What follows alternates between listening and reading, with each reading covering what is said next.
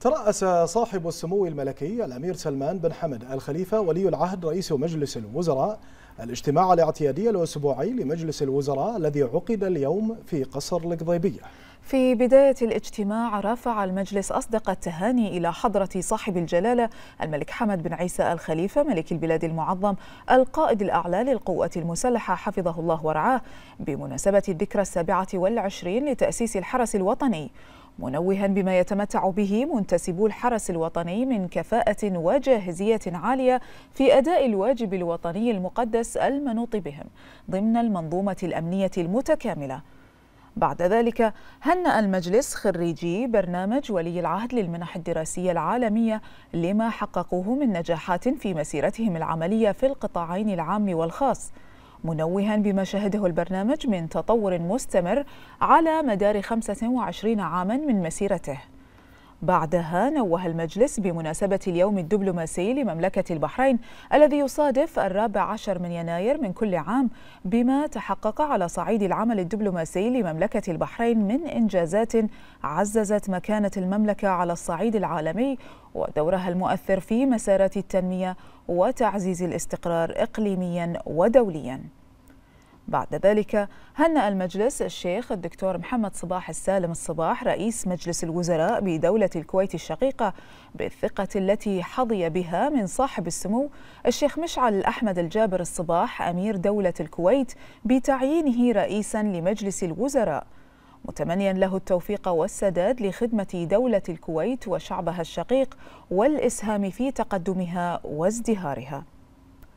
ثم رحب المجلس بفوز جواز السفر الإلكتروني لمملكة البحرين بثلاث جوائز ذهبية وسبع فضية من بين جوائز لندن للتصميم. منوها بجهود وزارة الداخلية وكافة القائمين على مشروع جواز السفر الإلكتروني الذي روعي فيه التصميمات العصرية والمعايير الأمنية بالغة الدقة. موجها بمواصلة خطط التحول الإلكتروني في الخدمات التي تقدمها مختلف الوزارات والمؤسسات الحكومية. بعد ذلك أعرب المجلس عن تعازيه لحكومة اليابان وشعبها في ضحايا الزلزال والهزات الأرضية القوية التي ضربت عدة مناطق في اليابان وتمنياتها بالشفاء العاجل للمصابين.